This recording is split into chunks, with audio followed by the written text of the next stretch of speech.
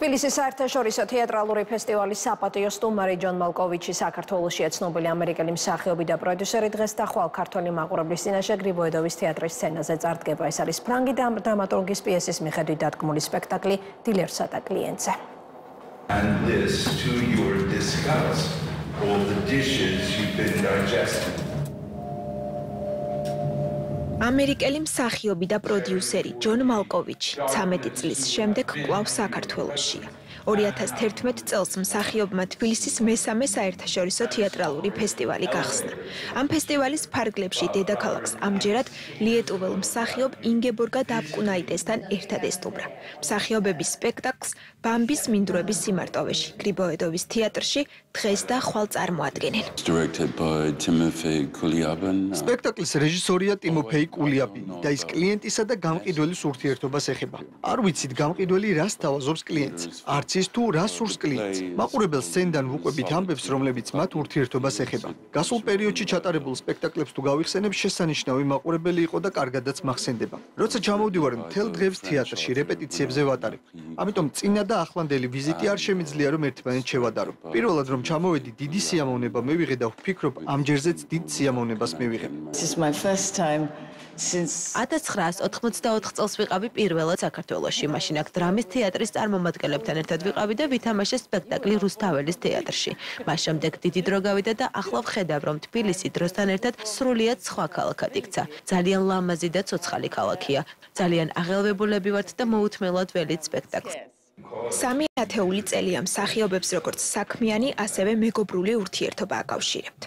ახლაც სცენიდან ორი ადამიანის ურთიერთობაზე გვიყვებიან, რომელთაგან ერთი მყიდველი, მეორე კი გამყიდველია. მათი თქმით, მთელი სპექტაკლი ერთგვარი კამათია, ორი ადამიანის დაპირისპირება სიტყვებისა და ნიშნულობების თამაშით. 30 წელზე მეტია უკვე რაც ინგებორგა ჩემთვის უახლოესი თანამშრომელია. ბევრჯერ გვიმუშავია ერთად და ყოველთვის მიყვარს მასთან მუშაობა. თეატრსა და კინოში თამაში ჩემთვის ძალიან განსხვავდება ერთმანეთისაგან. სპექტაკლი ცოცხალი არსება, ყოველ ჯერზე განსხვავებულია. თეატრის სულ სხვა ფორმაა. ჩვენ მრავალი წელია უკვე რაც ერთად მუშაობთ. მსახიობი პარტნიორი, მეგობარი, ეს ყველაფერი ერთ ადამიანშია და ეს არის ჯონი. სწორედ ჯონია ის ადამიანი, ვისთან ერთადაც შემიძლია ვითამაშო ყველაფერი და ყველგან. თუ ის იტყვის, წავიდეთ უდაბნოში, უდაბნოში წავალთ. წავიდეთ მთვარეზე, ჩვენ წავალთ მთვარეზე. სპექტაკლი თეატრალური ფესტივალის მე-15 საიუბილეო სეზონის ფარგლებში ოქტომბერში უნდა გამართულიყო.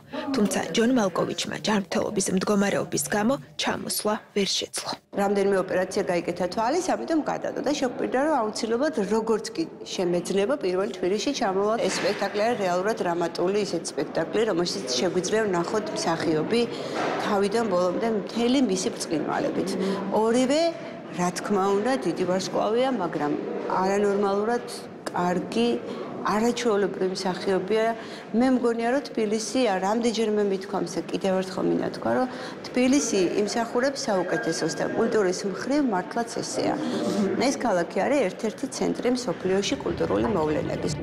For I have been here. სპექტაკლი გრიბოედოვის თეატრში დღეს და ხვალ გამართება. მსახიობები მაყურებლებსა და პროფესიონალებს ხვალ თეატრის სახელოსნო 42-ში სასაუბრად შეხვდებიან. ამავე თეატრში კი 25 მარტს ინგებორგა დაბკუნაიტესი მაყურებელს საკუთარ სპექტაკლ კალინაუსკასი 6-2 წარუდგენს.